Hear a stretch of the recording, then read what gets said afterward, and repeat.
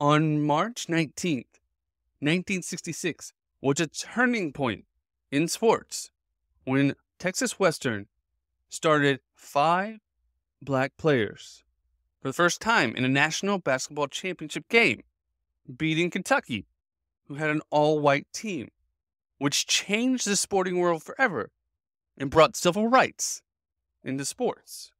Not only changing the sporting world, but changing the culture of America as well. Here's the story behind this iconic event today on Daily Sports History.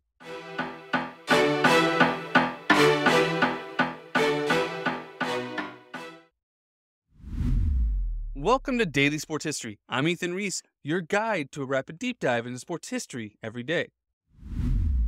So, Texas Western was a small college in El Paso and it has since changed its name to the University of Texas El Paso, better known as UTEP.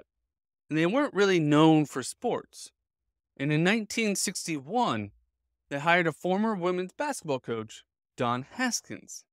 Now, Haskins wasn't the first to recruit black players at Texas Western.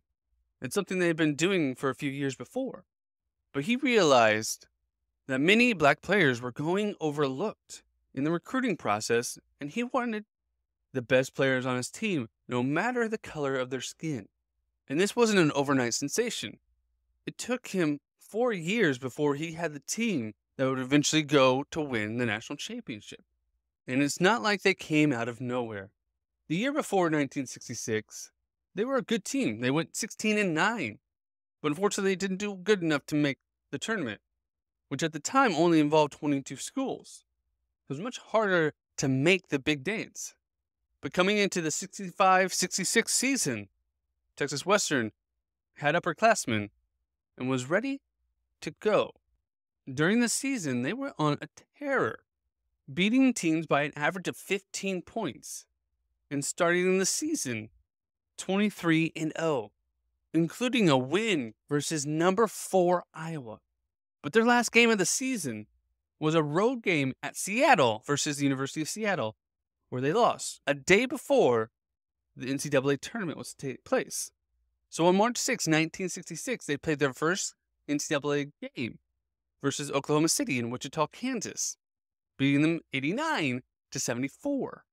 They went on to beat the next three opponents Cincinnati, number four Kansas, and Utah to make it all the way to the national championship game, where they were going to face the number one ranked Kentucky. Now, at the time, they were actually ranked third in the nation. So they weren't just an out of nowhere underdog. They had been starting to get more and more publicity as the time went on. Now, three years before this happened, Kentucky coach Adolph Rupp who's a Hall of Fame coach and one of the best basketball coaches in college basketball history, had said that five black players couldn't beat five white players. And this quote may have been taken out of context, but this quote was fuel for Texas Western. Now, the game took place Cole Fieldhouse on the University of Maryland campus in front of over 14,000 fans. At the time, they actually had a third place game for the two losers in the semifinals, where Duke beat Utah to win third place. The championship game started at 10 p.m. And heading into the game, Don Haskins had told his center, David Lattin, to dunk as early as possible in the game to send a message to them and help lead them to a 34 to 31 halftime lead. Now Kentucky rallied back with future NBA coach and player Pat Riley leading the way. But Texas Western was too disciplined, and they shot 27 free throws, only missing one, which helped lead them to a 72 to 65 win over Kentucky. This was a great day as the country had been going through many civil fights. Just a year prior, they had the march down in Selma, and two years before, Dr. Martin Luther King gave his I Have a Dream speech. And now sports was taking the reins.